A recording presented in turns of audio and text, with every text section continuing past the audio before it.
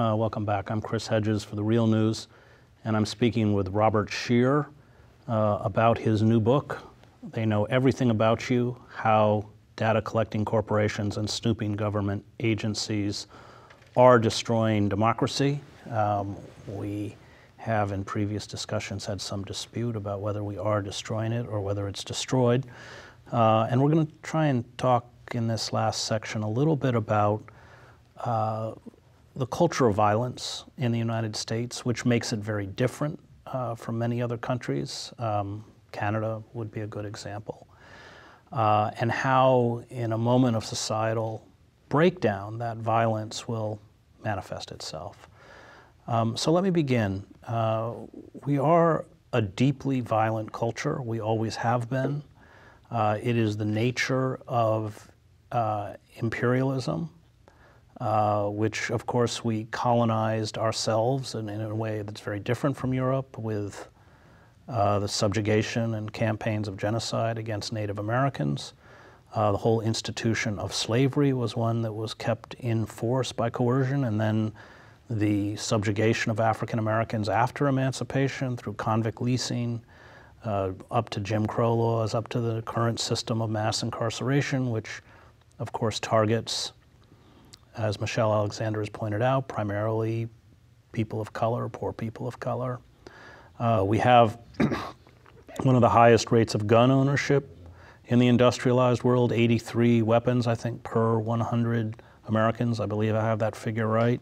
Uh, not only are there young African American men that are killed week after week after week, even after this, you know, these killings are caught on videotape, and many, in most cases, the police are not charged. I mean, since Michael Brown was killed in Ferguson, we'd had 11 people uh, shot dead uh, in the St. Louis area, um, and that's just writ large. Uh, we have uh, these bizarre school shootings uh, largely carried out by people who come out of the white survivalist cult. It's not violence by African Americans. Adam Lanza's mother was survivalist. Um, and then we have proto fascist entities, the Christian right, Tea Party, militias, um, the Minutemen, and others who celebrate not only the gun culture, but celebrate um, or, or I think, express those fundamental tenets of fascism, which is where you direct your rage and legitimate despair towards the vulnerable, towards undocumented workers, Muslims, homosexuals, liberals, intellectuals, feminists. And in a moment of breakdown, and I think we are headed for some type of breakdown, uh, all of these groups are empowered to express themselves in our society through violence. Um, and I think that, you know, especially having come out of disintegrating societies, I covered the war in Yugoslavia or I covered the civil war in El Salvador, I'm cognizant of how swiftly societies can unravel, how quickly law and order breaks down, how fragile social, political, and cultural systems are, and how easily neighbor can kill neighbor, how swiftly human beings can be acculturated to carry out atrocities. That's one of the most disturbing things that comes out of being a war correspondent. And I think in this last segment, I'd like to have you look at a little bit that reality uh, the reality of American violence, our propensity for violence, and how, uh, as things unravel, that may express itself within American society. Well, there's no question about our propensity for violence. I was in Vietnam, both the South and the North, and I saw what carpet bombing does uh, and I saw the destruction. I mean, three and a half million people were killed, Indo-Chinese people, along with 59,000 Americans. And there was no rhyme or reason. And the bloodlust, the vengeance, the indifference to human life, the idea that maybe these people had families and cared, loved, you know, the people were bombing and napalming. and so forth. Uh, that's pretty blatant. Uh, I, still have not gotten over the bombing of Japan and Germany, uh, you know, even though we're on the right side. Uh, the dropping of the bomb in Hiroshima and Nagasaki. And I think in a very important column you wrote, you correctly pointed out that it was dropped on a non-military zone to send a message to the Soviet Union. Yeah, it's the greatest act of, of terrorism that the world has ever seen is the dropping of the bomb at Hiroshima and Nagasaki. The target was during the day when school children would right. be out would be vulnerable. Uh, there was no military reason for it. Uh, General Eisenhower was against it and said there was no reason, and it was done for to justify a, a big wartime program that we had spent money on, but it was also to prevent uh, Soviets from being one of the occupying powers of Japan and so forth. So there was a lot of cynical political reasons. So I have no doubt that Martin Luther King was right when he condemned the U.S. government as the major purveyor of violence in the world. Today, uh, we have that capacity and we have the technology. Where I disagree is to blame this on anything that traces back to who we are as a people. Uh, I think we are manipulated into violence. I don't think it's part of our culture. I think the, the basic cultural experience coming out of an immigrant culture, which we are. All of us are immigrants, uh, with the exception of the people we committed genocide against. The native population came here to do things other than to be violent. They wanted to succeed. They wanted to have security. They wanted to have family. And I remember growing up in, in the Bronx, uh, which was like growing up in the Balkans or something. I mean, you know, one part of my building were Orthodox Russians, and you know, another part were Jews, and I had German relatives and Jewish, and you had the Italians over there, and the Irish, and the Puerto Ricans, and and so forth. Uh, I felt that our tensions really were response to the weaknesses of the society.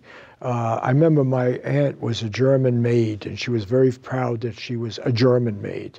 And she had a false sense of, of class consciousness because she wanted to say she was superior to the Irish maids, who felt they had to be superior uh, to, to the Puerto Rican maids. And, you know, there's always this uh, uh dividing and, you know, trying to salvage some respectability and some power from your class, your religion, your culture, and so forth.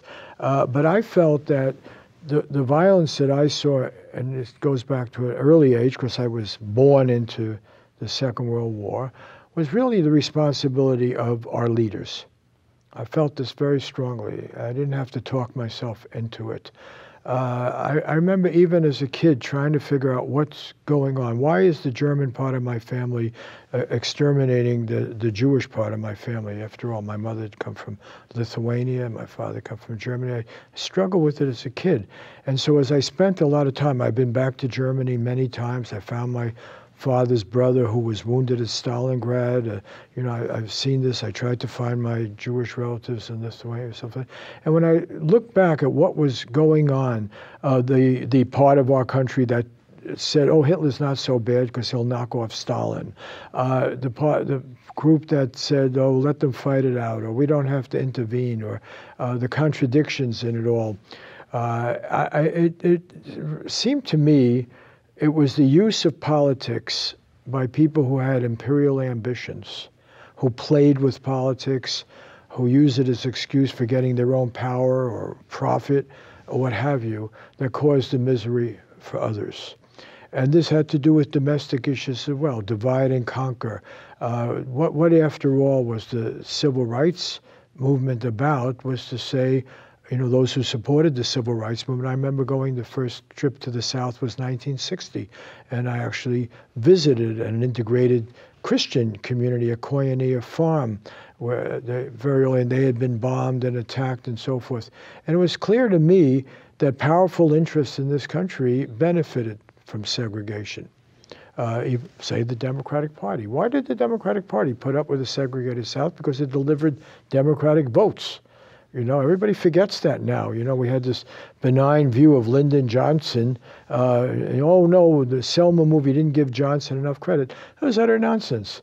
Uh, Lyndon Johnson uh, was a Southern politician. He didn't act aggressively enough when he was coming up. He certainly could have stopped Hoover from destroying Martin Luther King. Uh, there was a great deal of indifference, and were it not for, uh, you know, a heroic grassroots civil rights movement, uh, you know, there wouldn't have been any progress. This was true of the labor movement. I mean, my parents were very active in the labor movement. My, you know, they were on picket lines and, and, and all this sort of thing. So my view of the society is that the impulses that came up from below, and I don't think I'm romanticizing it, were closer to Woody Guthrie's description or Pete Seeger's description of, uh, you know, uh, uh, that, that people had a thirst for freedom and it ultimately would be in favor of equality and respect for individual. You know, uh, let me, let me, you know, and if I could just add one little thought, what I've been doing as a journalist all my life is trying to get powerful, respectable, ruling class, well-educated people to do the right thing. You know, uh, uh, it, it's why are you in a war that makes no sense? Uh, why are you ignoring poverty? Uh, why, you know, uh, why, why aren't you more concerned about income inequality? Why do you smash the labor movement? So most of my issues uh, in my life and my reporting and my concern is why are you people being so irrational and selfish and mean-spirited? You people of power. And so that I, I know. Well, because for them it does make sense. I mean, Raytheon and uh, you know the wars in Iraq and Afghanistan, their stock prices have quadrupled. They would love to drop cruise missiles all over Syria and Iran because that's how they make money. Um, and they make money in the short term. Yeah, but, but they, they only the th- they only think in the short term. We see, I had the misfortune or fortune, I can't tell you, to actually travel around with Nelson Rockefeller, you know, uh, with Richard Nixon. I mean, to interview these people, to, you know, be there at the presence. And I think they had enough wisdom to know that this would lead to the destruction of the nation.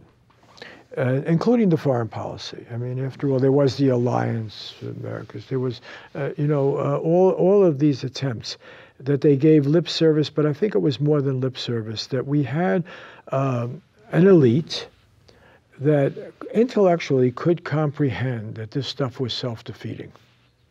You know, let's take the rise of terrorism. It's a very good example. You know, who are the people who pushed for going into Afghanistan and supporting these so-called freedom fighters? It started with a guy named Zbigniew Brzezinski, who was working for Carter. And Brzezinski has, has been quoted in Nouvelle Observateur. They did an interview with, with him. And they said, look, wasn't it crazy? Uh, there was a secular government in Kabul. It happened to be close to the Russians, but you went and got these so called freedom fighters, and you couldn't find enough religious fanatics in, in Afghanistan. You had to find them where? In Saudi Arabia and elsewhere, you know, and bring them there, and the CIA recruited them. What were you thinking?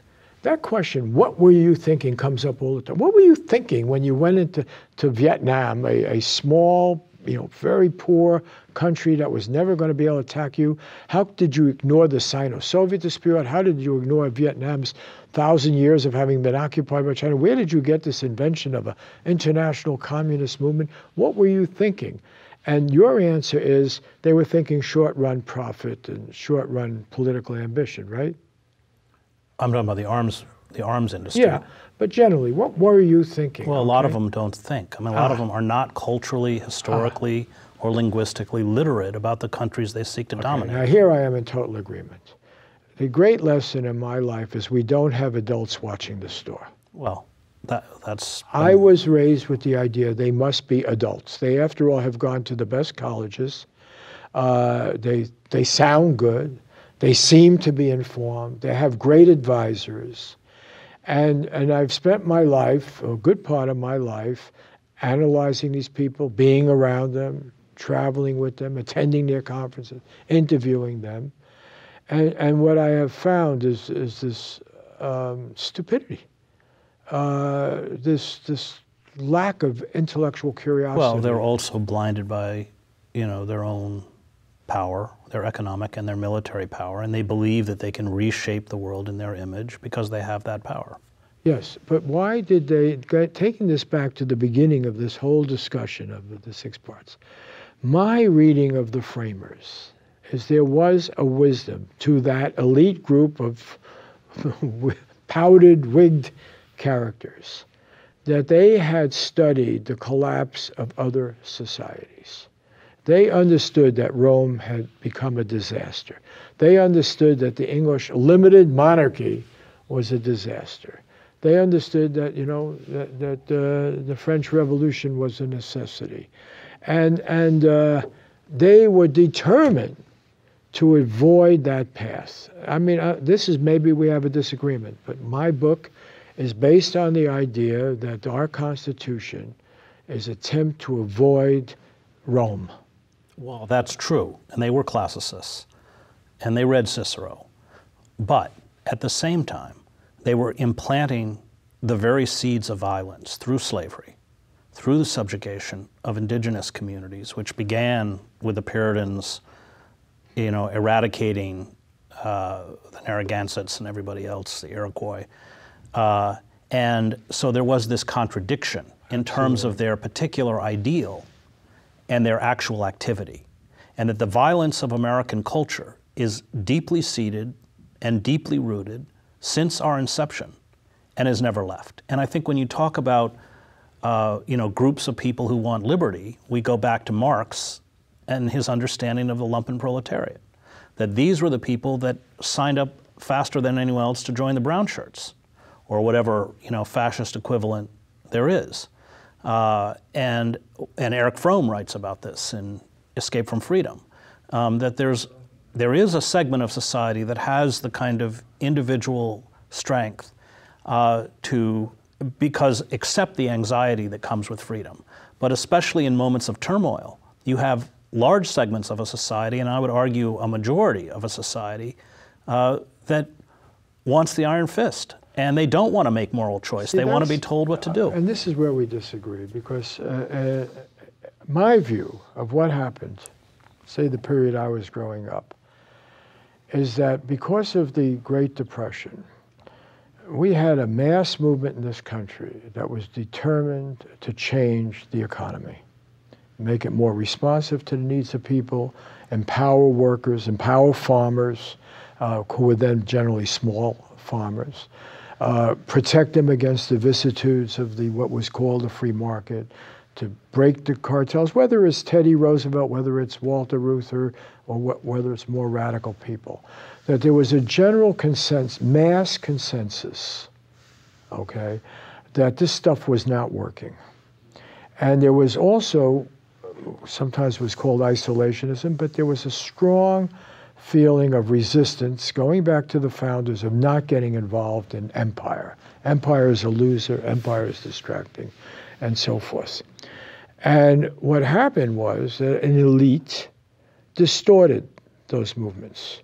That uh, uh, certainly after the Second World War, there was we could have gone the route of Henry Wallace, which was really a continuation. Well, they destroyed Henry Wallace. Okay, but that was a continuation of Roosevelt, right. who I think became a true believer in progress.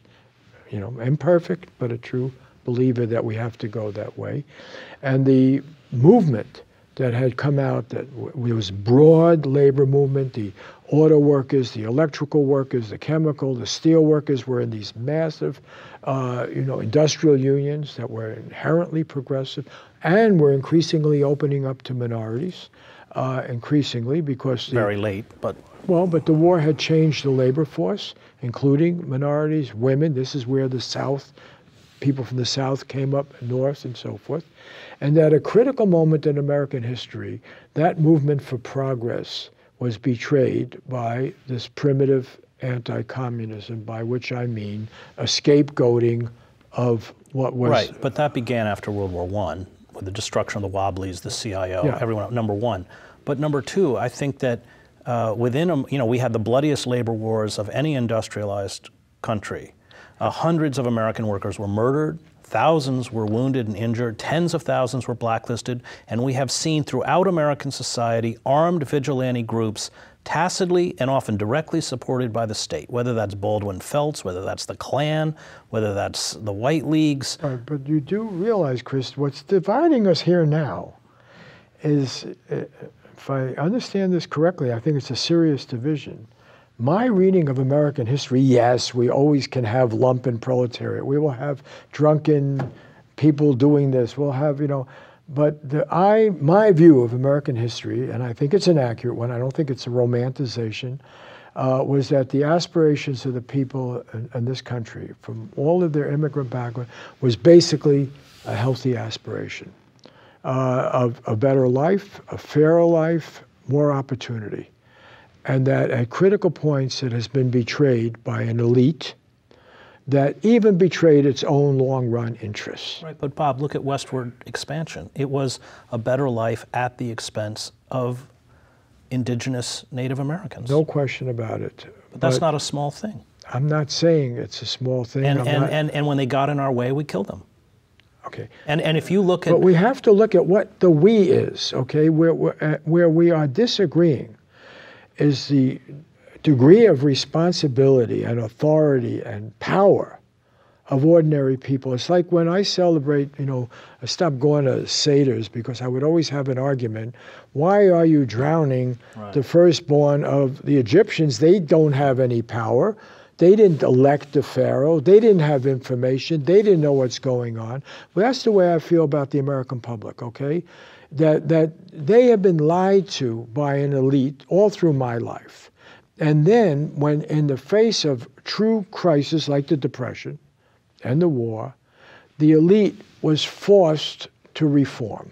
That's what Roosevelt was and that we reached a moment of relative sanity, opportunity, fairness, and so forth. Okay? It doesn't whitewash everything that came before. But the only reason we had a civil rights movement is that because of the crisis of the war, the depression, everything, and the movement of, of black people from the South and the need to deal with democracy in the world, right? We had to end segregation in the military. We had to be consistent. That's why, you know, you, you had the, the movement in that direction. And what I'm saying is the difference, and I see it now more clearly than I have previously, is I put the onus on the people who were in the elite, who had power, who could shape the debate, whether it was Hearst or whether it was Oakes. You know, I blame I blame the elite. You know, my people at City College did not mess up this country. Okay, you know, some of them rose to positions of power, some of them got ahead, but in the main, we were struggling to make sense of a society in which we had very little power, okay? And to the degree that we could have an impact on it, we made it a better society. At every key turn, it was an elite, and some increasingly came from poorer backgrounds and were co opted, but it was an elite that didn't even have the sense to act in an adult, rational way for their own self interest. Going along basically uh, with the war in Vietnam, for instance, that's the whole point of the best and the brightest. They introduced madness in foreign policy, right? Uh, all the stuff that, what you know, blaming the CIA for, you know, that the CIA was an elite organization. It was the establishment. It was the product of our best education. Who are the people? McNamara is well, no, I, I don't disagree with any of that. But I would say that at the same time, because we benefited from, especially economically, from the fruits of empire, we are complicit. And if you look at any cavalry unit in westward expansion, 60, 70% of them, including the 7th Cavalry at Little Bighorn, they didn't even speak English. They could hardly get on a horse because as soon as they got off a boat from Ireland, there were no jobs. They were recruited to go. We even had black soldiers. Right, but you're suggesting that they could empower themselves to comprehend and challenge. Some did. But in the main, they are the victims. They are the victims because they were fleeing starvation in Ireland. Right. They're trying to survive. They're in this place, and people, uh, an elite, says this is the way to behave. Well, and and let's go to our job as journalists all my life, the people that I was growing up with and I was around were being lied to. Systematically lied to. I remember in school, uh, you know, PS 89, I wrote a paper on segregation, believe it or not, in South Africa. Because in my home, we had more of a counter press, whether it was a, a socialist or a communist or what have you. We had, so I knew that in South Africa, life was miserable. I wrote a paper in the seventh grade, and I was flunked because I didn't use the New York Times as a source. I used the Compass, the PM, the Daily Worker, the whatever paper, okay? So the elite was telling us, no, South Africa is hunky dory. Right. South Africa is well, there's a good no, place. no dispute. We're going to end this segment and do one more. Uh, this is segment number six uh, at the Real News. Uh, I'm Chris Hedges. We've been speaking with Robert Scheer, the author of They Know Everything About You How Data Collecting Corporations and Snooping Government Agencies Are Destroying Democracy. And thank you for joining us on The Real News.